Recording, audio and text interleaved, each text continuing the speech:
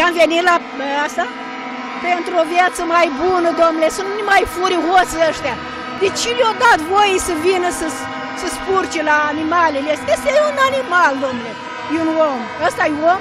Păi eu sunt crescut în, în primul război mondial, în 39, am 80 de ani. Credeți că de bine vin aici? De bine? Nu de bine, să știți. PSD-ul se laudă că a crescut pensiile, că pensionarilor le merge mai bine, că mătușile lui Codrin Ștefănescu merg la restaurant, dumneavoastră mergeți la restaurant, doamnă. Vai de mine!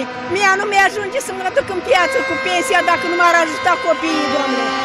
Am copii care mi-ajută, care e milă de mine, știți cum? Credeți că mă simt bine? Eu nu mă simt bine că am lucrat 40 de ani la copii. Și a fost foarte greu pe timpul lui Ceaușescu la copii, să știți. Mi-a scos Dragnea, mi-a scos în... Păi, eu puteam, eu nu puteam să am și eu palate ca el? Nu, nu, n-am putut să am palate.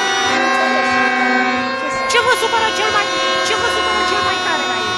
Ce mă supără cel mai tare? Copiii mei au făcut facultate și nu au loc de muncă. Unul are firmă și merge foarte greu cu firma. Al doilea și-a făcut facultate mecanică. Știți cum e foarte?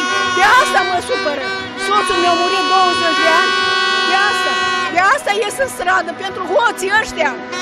Că pleacă copiii noștri din țară. Mi-a plecat un nepot în Elveția. Păi închipuiți, mi sună pe sufletul. De asta. De asta ies eu, nu de bine.